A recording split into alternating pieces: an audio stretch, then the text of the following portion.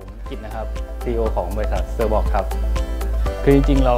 เราเริ่มมาจากที่เราทำตัวเครื่องเลขเหรียญมาก่อนนะครับ แล้วก็เราก็อยู่วงการเหรียญกับแบงก์เนี่ยมานานแล้วแหละ แล้วพอเราเริ่มสำรวจว่าเฮ้ยในโลกใบนี้มันยังมีอะไรบ้างที่จะทำให้ชีวิตผู้คนมันดีขึ้นนะครับ หนึ่งในนั้นก็คือ vending machine ครับที่จะทำให้ชีวิตผู้คนดีขึ้น เราไปถึงเดินไปที่หน้าตู้สแกนแล้วเราก็ได้สินค้ามา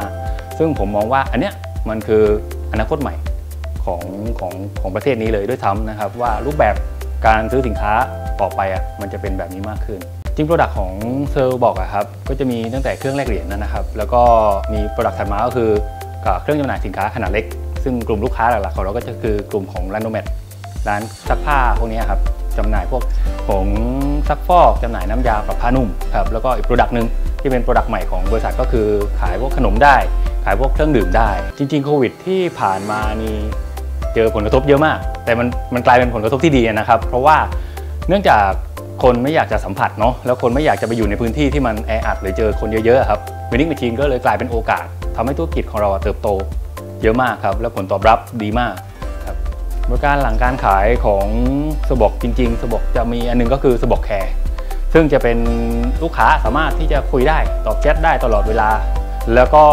เรามีตัวแทนอยู่ทุกภาคทั่วประเทศนะครับที่สามารถเข้าดูได้ แล้ว commitment ของเราก็คือว่าเราจะเข้าไปดูแลลูกค้าภายใน 3 วัน อันนั้นคือสิ่งที่เราจะให้กับลูกค้าครับอีกอันหนึงคือเรามีทีมพัฒนาเป็นของเราเองครับเทคโนโลยี เพราะว่า1 machine นะครับอย่างลูกค้าซื้อวันเนี้ย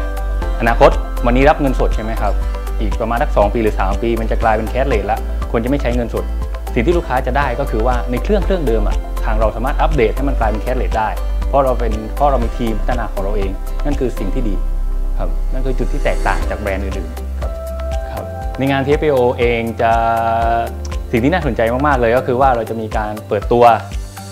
ผมผมคิดว่ามันเป็นการพลิก vending machine เลยแหละ